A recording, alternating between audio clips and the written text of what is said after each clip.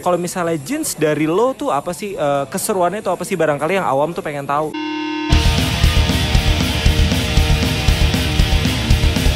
What's good YouTube, halo teman-teman, balik lagi sama gue Nah, di video ini bakal beda banget nih. Jadi gue di video ini bakal bahas denim lagi Bakal bahas jeans lagi. Sebenarnya beberapa bulan ini emang gue lagi pengen beli jeans gitu Pengen pengen nyari jeans gitu. Ini adalah jeans gue satu-satunya. Maksudnya kayak eh, jeans gue yang bisa dibilang eh, gue mainin lah dulu yang gue suka. Ini adalah Naked and Famous. Lihat deh, udah ancur banget. Lihat udah begini terus udah robek udah empat udah tiga empat tahun gue pakai dan gue belum ada penggantinya. Dan emang gue lagi nyari nyari gitu. Nah untungnya kemarin kemarin gue belum beli atau gue belum sempet nyari nyari jeans. Dan hari ini ini ada undangan dari Old Blue. Jadi ini ada acara Old Blue Royal Rumble volume ketiga. Jadi ini gue di invite di salah satu acaranya Old Blue yang bisa dibilang denim contest. Cuman gue kan awam ya eh, di denim ya. Ibaratnya kalau denim contest ini tapi kan pasti ada Old Blue nya gitu. Pasti ada brandnya nah nanti tuh niatnya gue pengen lihat-lihat. Kalau misalnya gue dapet barang yang gue suka di situ apalagi Old Blue tuh brand lokal yang sangat sangat sangat mendunia ya bisa gue bilang dari segi kualitasnya. Ibaratnya gue bisa kalau menurut gue kalau menurut gue yang gue tahu kalau misalnya lu nanya jeans nomor satu lokal di Indonesia itu menurut gue Old Blue. Menurut gue nah denim contest itu setahun jadi pemenangnya tuh eh, tahun depan kalau misalnya kalian ikutan tuh masih bisa start tuh dari bulan-bulan ini. Kalau misalnya kalian pengen tahu detailnya kalian nonton aja video ini sampai habis karena mungkin nanti gue akan nanya langsung ke orang Old Blue-nya kalau mau ikutan gimana dan segala macam ya. Pokoknya intinya di video ini sebenarnya gue cuma pengen nyari denim pengen nyari jeans. Nah kalau misalnya kita ngomongin denim kontes ya IDC itu tuh dari tahun 2011 deh kalau nggak salah. Dan itu dibuat tuh sama yang punya Old Blue juga sama ownernya Old Blue juga. Ya ya. IDC itu singkatan dari Indigo Denim Contest. Denim contest ini tuh sebenarnya dibangun untuk customer dan produsen denim di Indonesia itu biar ekosistemnya tuh baik gitu ya. Sebenarnya kalau anak-anak sneakers tuh bilangnya culture-nya kali ya. Culture-nya tuh biar biar biar asik gitu biar asik. Nah ada nih yang denim kontes ini. Royal Rumble ini acaranya Old Blue ini ini tuh pengen naikin lagi nih denim kontes nih. Semoga bisa hidup lagi. Nah kali ini gue bakal datang ke acaranya Old Blue Royal Rumble di Standar Denim Plaza Senayan. Langsung aja kita mulai video ini. You ready? Let's go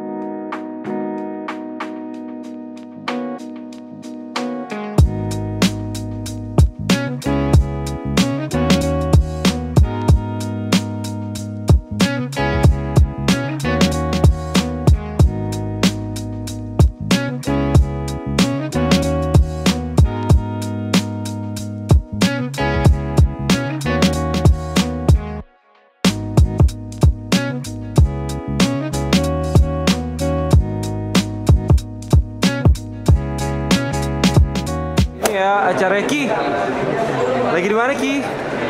Standar eh standar standar denim standar denim iya standar ini mau ngapain jadi anak denim sehari Hei yo, mau ikutan?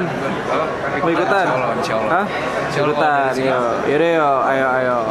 Rame, udah rame banget.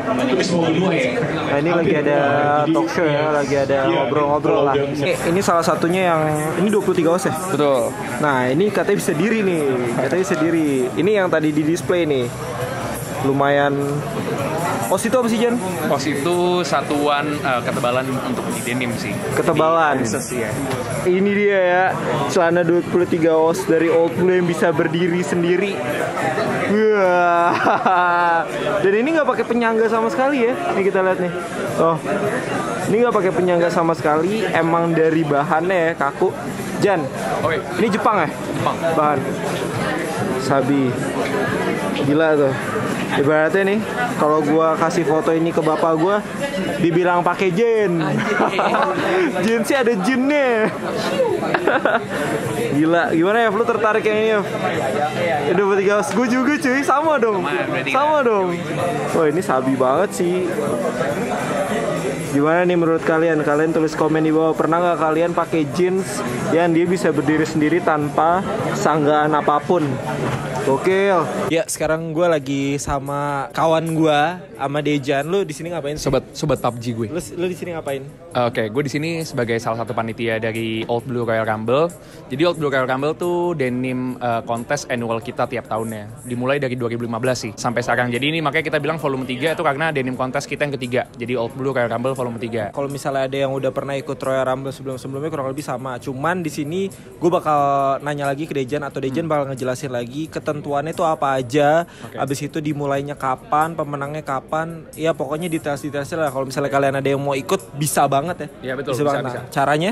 Oke, caranya tinggal follow uh, Old Blue Royal Rumble di Instagram. Jadi nanti di sana bakal ada gua share link untuk Google Formnya buat isi untuk pendaftaran untuk ikutin kontes. Jadi uh, gue cerita dikit, sih gampang intinya tinggal pakai celana Old Blue apa pun dalam pemakaian di bawah tiga bulan. Kalau di bawah tiga bulan tuh bisa langsung ikut kontesnya selama setahun dari bulan ini 29 April eh 29 Maret ini sampai 29 Maret 2020 tandanya. Tahun depan berarti. Ya betul. Tiap tiga bulan ada pemenang, ada sponsor kita dari Relik Almanak, dari Sagara, sampai nanti dari SDS akan ada grand prize sim- secara simbolik.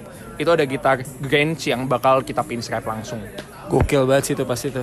Nah terus kalau yang updatean per bulan itu apa tuh? Oke, updatean per bulan. Jadi kalian itu cukup update celana kalian depan dan belakang foto flat lay dengan sinar yang bagus. Bagusnya sih natural di luar, tandanya jangan di indoor. Update di Instagram kalian atau di Instagram khusus untuk ikutin kontes. Jadi kontesnya harus ada Instagram. Posisi itu dengan ada eh, tag yang kita kasih. Nanti kita akan nilai dari fotonya bisa. Nah, jadi biasanya itu tiap bulan atau tiap tahun tuh biasanya ya kalau untuk yang awam nih biasanya denim itu bakal berubah, bisa fading lah ya. Betul, betul. Nah, Dia nanti kalau misalnya kalian pengen tahu lebih lengkapnya kalian bisa follow aja Instagramnya Old Blue dan Old Blue Royal Rumble. Ini di description di bawah juga ada. Pokoknya intinya gampangnya adalah kalian beli celana Old Blue bulan-bulan ini. Iya. Bulan sekarang sih lebih tepatnya dan itu bisa dipakai buat kompetisi atau buat kontes sampai tahun depan. Intinya kayak gitu ya. Kalau gue mau ikutan nih kira-kira rekomend lu tuh yang mana sih gitu? Oke, kalau gua kasih tahu ya, kan lu kemarin pernah pakai NF ya? Ah, dan cuttingannya slim ya? Ya. Oke, jadi kita ada slim fit juga nih dari Old Blue. Lu harus cobain cuttingan 7,75 kita. Eh, itu cuttingan slim, hybrid tapi top locknya lebih lebih gede. Itu yang white oak con mills kita, itu 14 os. Iya. Tapi kalau misalnya yang tadi gue liat berdiri di depan itu apa? Oh itu, itu 21 os eh, kita yang udah flagship dari zaman dulu dari 2011 itu udah menangin dua kali kontes Indigo Denim Kontes di Daraku Biru yang ngadain. Jadi Indigo Denim Kontes pemenangnya selalu make si Old Blue. eh, Old Blue yang artikel itu. Wah, Dia artikel. Jadi gokil. dia sebenarnya undisputed winner dulu Dia udah tahun-tahun ya. Ya pokoknya lain. itu bisa diri lah untuk kalian yang gak pernah lihat celana bisa diri ya itu bisa diri. itu keren banget ya Bajan. Iya, thank you. Nanti kalau misalnya gue ikut gue pasti akan berkabar ke lo. Iya, gue tunggu lu ya. Sekarang gue lagi sama Yaya nih mungkin lo bisa perkenalkan dulu lah lo siapa. Oke, uh, gue Yaya, biasanya di forum namanya Yax dari Old Blue. Nih ownernya nih langsung nih. Nah ini kan bisa dibilang nih acara lo lah. Kan awalnya kan IDC lah bisa bilang dari 2011 yang gue baca-baca. Nah abis itu sekarang ini udah ada Royal Rumble di volume ketiga. Sebenarnya ini tuh tujuannya apa sih kalau dari lo sendiri gitu? Jadi waktu media-media yang ada Indi- Indigo Denim Contest itu ya, yang IDC IDC itu 2011an kalau nggak salah. Waktu itu gue masih jadi uh, kus- ketuanya khusus tuh. Nah, gue sebenarnya di sini tuh kangen aja tuh keadaan-keadaan yang kayak zaman dulunya itu tuh gimana lo having fun banget uh, apa namanya pakai jeans lo. While having fun ya lo bakal nanti kalau misalnya dapat kayak hadiah itu kan kayak semacam semacam bonus lah. Jadi kayak gue kangen banget tuh sama kondisi-kondisi kayak gitu. Jadi pengen balikin kayak rasa-rasa senengnya itu, rasa-rasa lo gemar-gemarnya wearing your jeans.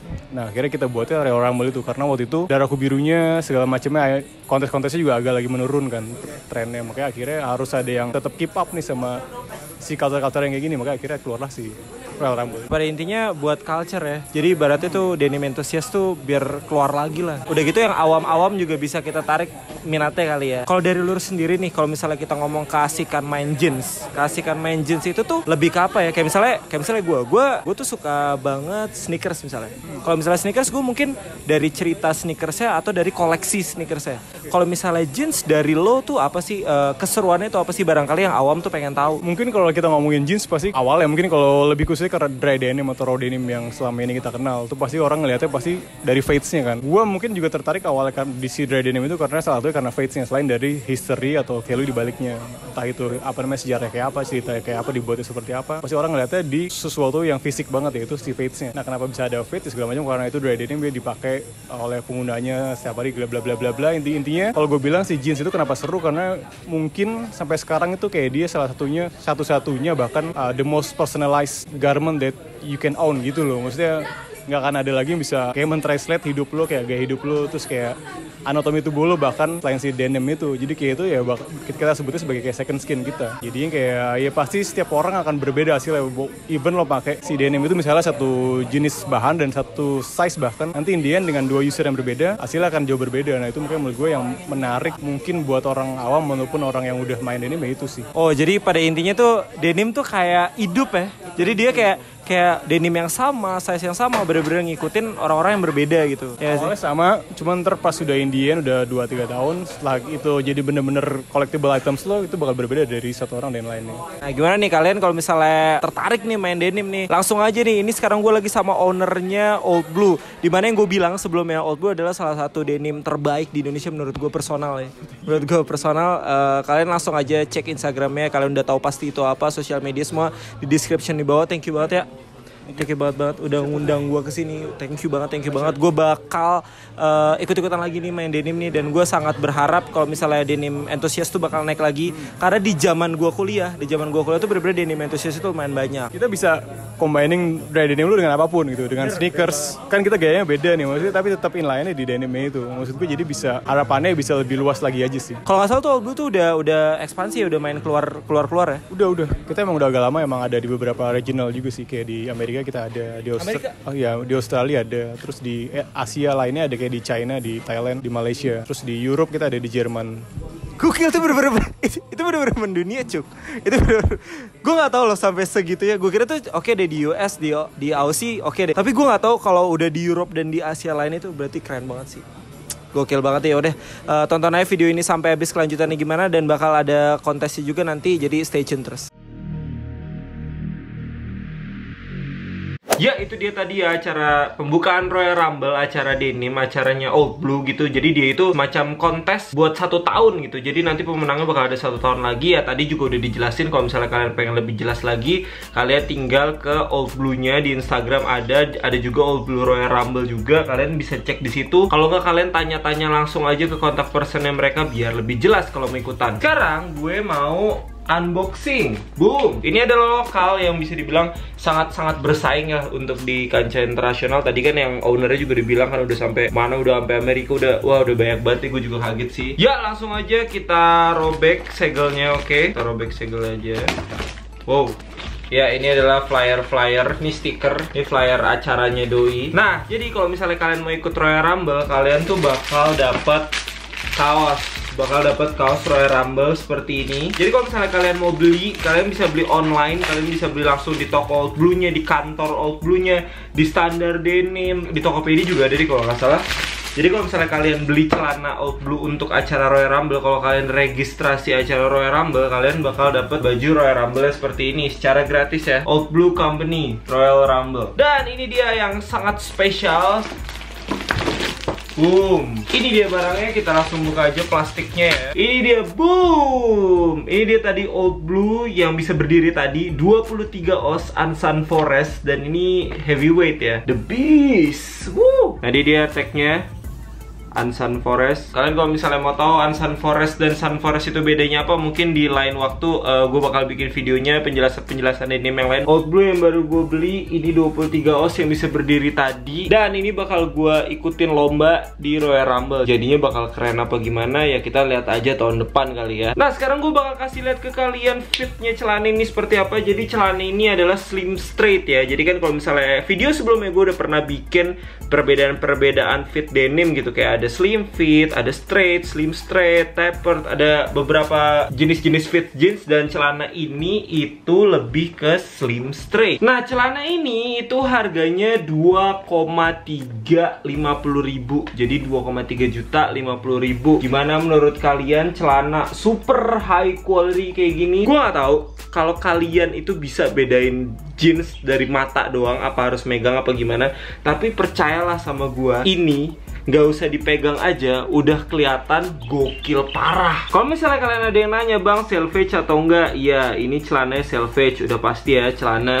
di atas 2 juta gitu udah pasti salvage gitu. Kalau misalnya kalian mau tahu salvage itu apa nanti bakal ada di video lainnya atau mungkin kalian pasti udah ada banyak yang tahu salvage itu apa. Oh ya video ini diskusi juga loh kalau misalnya ada kalian yang emang denim entusias atau expert denim gua kan awam. Kalian bisa tulis komen di bawah menurut pendapat kalian gimana terus misalnya kalian mau kasih penjelasan salvage itu apa honeycomb itu apa whisker itu apa unsun forest itu apa dan bahan-bahan denim bla bla bla bla. Kalau misalnya ada kalian yang denim entusias kalian bisa komen di bawah nanti yang awam-awam seperti gue bisa baca komen dari kalian. Thank you banget ya. Good job banget Old Blue. Ini bener-bener yang namanya local pride. Ini tuh bener-bener yang namanya high quality product. Kalau mau ikutan Royal Rumble ayo ikutan juga. Siapa tahu menang kan gak ada yang tahu kan. Jangan lupa like video ini jangan lupa subscribe channel gue jangan lupa share video ini ke teman-teman kalian supaya teman-teman kalian tahu ada denim segokil ini di Indonesia. Ada acaranya juga. Kalau misalnya mau ikutan kalian share aja ke teman kalian barangkali teman kalian ada yang mau ikut. Yuk saya kepanjangan kira-kira gitu aja video gue untuk kali ini sampai jumpa lagi di video-video gue yang lain.